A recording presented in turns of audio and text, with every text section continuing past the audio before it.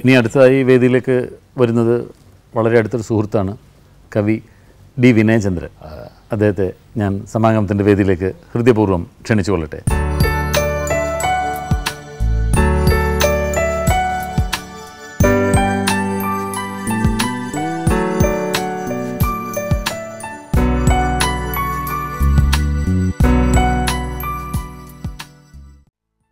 ഇവിടെ വന്ന് സംസാരിച്ച എല്ലാവർക്കും വ്യത്യസ്തങ്ങളായ ഓരോരോ അനുഭവങ്ങളാണ് കടമനിട്ട സാറിനെ കുറിച്ച് പറയാനുള്ളത്.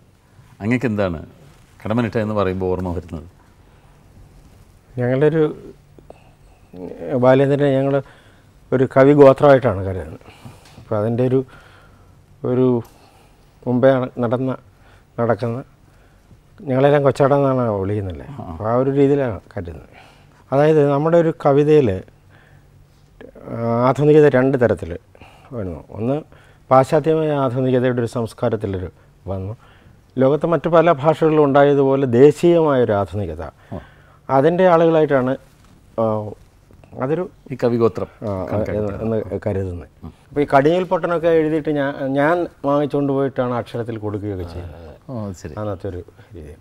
പിന്നെ ഇപ്പോൾ താമസിക്കുന്ന വീട് അല്ല അതിന് അത് വാങ്ങിക്കാൻ പോകുമ്പോഴേ അതിന് വേണ്ടി നിലം വിൽക്കാൻ പോകുമ്പോൾ കണവന്റെ അച്ഛൻ പിന്നെ പടയണിയുടെ ആശാൻ ആ, രാമൻ നായർ അദ്ദേഹം ഉള്ളപ്പോൾ അവിടെ ഒക്കെ പോയി. അങ്ങനെ ഒരു തുടർച്ചയായിട്ടുള്ള ഒരു പരിചയത്തിന്റെ ഒരു ഇതാണ്. അദ്ദേഹത്തിന്റെ അച്ഛൻ പാടി ഞാൻ കേട്ടിട്ടുണ്ട്. ഞാൻ പറഞ്ഞിട്ടേ ഉത്സവത്തിന് അല്ലെങ്കിലും ഈ പടയണിക്ക് വേണ്ടി ആ പടയണി പാട്ട് എന്നെ കട്ടിലിരുന്ന് പാടി കേൾപ്പിച്ചു എനിക്ക് വേണ്ടിയിട്ട്.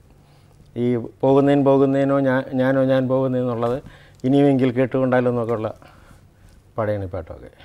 പിന്നെ ഒരു കാലത്ത് ഞങ്ങൾ ഈ കടമ്പന് പി ആൻഡി ഓഡിറ്റിന് പല സ്ഥലത്തും പോകുമല്ലോ അപ്പോൾ ഒരു കാലത്ത് രണ്ട് ഞങ്ങൾ രണ്ടും മാത്രമായിട്ടുള്ള കുറച്ച് കവിയരങ്ങൾ ഉണ്ടായിട്ടുണ്ട്. അത് ഞങ്ങൾ തലേന്നേ പോകും. ആ കവിയരങ്ങളുള്ള സ്ഥലത്ത് ലൈബ്രറി ആണെങ്കിലും ഒക്കെ ആണെങ്കിൽ തലേന്ന് പോയിട്ട് അവിടെ താമസിച്ച് ആ നാടൊക്കെ നടന്ന് കണ്ട് പിറ്റേന്ന് ആ കവിയരങ്ങ് മൂന്ന് മണിക്കൂർ ചൊല്ലും രണ്ടുപേരോട്. പിന്നെ ആന്ന് വെച്ചാൽ കവിയരങ്ങിലൊക്കെ അന്ന് ഗൗരവമുള്ള കവിതകളാണ്. പിന്നെ ഈ പുസ്തകം നോക്കി വായിക്കുന്ന ഏർപ്പാടല്ല. അല്ല സ്വന്തം കവിതകൾ തന്നെ സ്വന്തം കവിതകൾ. അതിന്റെ ഒരു ഒരു പുനരവതരണം നമുക്കാവും അല്ലേ? എല്ലാവർക്കും കേൾക്കാനായിട്ട്. രണ്ടുപേരും ഓരോ കവിതയുടെ ഒരു നാല് വരി വീതം ചൊല്ലിയ.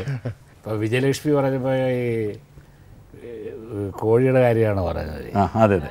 കോഴി കുഞ്ഞിനെ എന്റെ ചിറകിന്റെ അപ്പോൾ ഒരു അമ്മ മക്കളെ. സങ്കല്പം. കോഴി പറഞ്ഞു തുടങ്ങി. കൊക്കോ കൊക്കിനുള്ളിലുടക്കിയതെന്തേ? കൊത്തി വിഴുങ്ങിയ മുള്ളോ? ഉള്ളിൽ ഉണങ്ങാത്ത നോവിന്റെ കണ്ണിൽ ഊറിയ നീറും നീരോ? കൊത്തി ചിക്കിച്ചേകഞ്ഞിട്ട കൊറ്റിൽ കൊത്തി തുള്ളി നടക്കുന്ന കുഞ്ഞിന് തള്ളക്കുഴി പറഞ്ഞു കൊടുത്തു. കൊക്കോ കൊക്കൊക്കോ താളം തുള്ളുന്ന കുഞ്ഞിനും തെറ്റി താളം. അമ്മ തൻ ഗൽഗതം കാണെ കുഞ്ഞെ തുള്ളാൻ സമയമല്ലിപ്പോൾ കാഞ്ഞ വെയിലത്ത് കാലു പൊള്ളുമ്പോൾ എന്നും എന്റെ ചിറകിന്റെ കീഴിൽ നിന്ന് നിന്റെ വയറു നിറയ്ക്കാം എന്ന് തോന്നുന്ന തോന്നലു വേണ്ട. നിന്റെ ജീവിതം നിൻ കാര്യം മാത്രം. ഇനി വിനേന്ദ്ര സാറിന്റെ ഒരു കവിത കൂടെ കേൾക്കണം ഞങ്ങൾക്ക്. ഇത്രമാത്രം. പാഴ്ക്കിനാവിൻ കഥയിൽ കടങ്കഥ പച്ച മിനുക്കും കരിയും വരച്ചുമായി ചാടി ആറാടും പുഴയിൽ. കളം വരെ ചെത്തി നൂരാത്തൊരാ ജീവിതത്തിൻ കണ്ണിൽ ഒട്ടുടക്കുന്ന കാലത്തിൽ.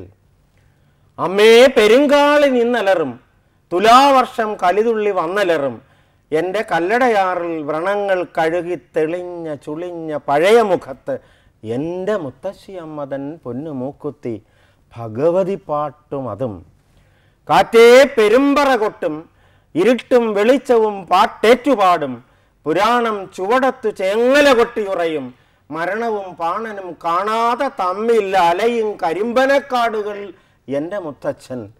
അതിൽ നിന്നൊരോല കഥകളിപ്പാട്ടും അതും.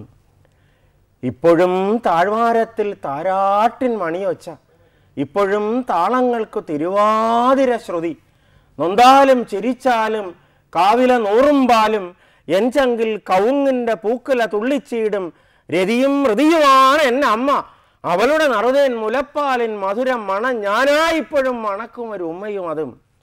എന്റെ കാൽവിരലിന്റെ വേരിന്റെ വികാസമായി എന്റെ കൈമുനമ്പിന്റെ അശ്വത്ഥ ശിഖരമായി എന്റെ കൺതിളക്കത്തിൻ നക്ഷത്ര വെളിച്ചമായി എന്റെയായി എന്റേതാകുമെല്ലാമായി എനിക്കൊന്നും പറയാനാകാത്തൊരു ബ്രഹ്മമായി.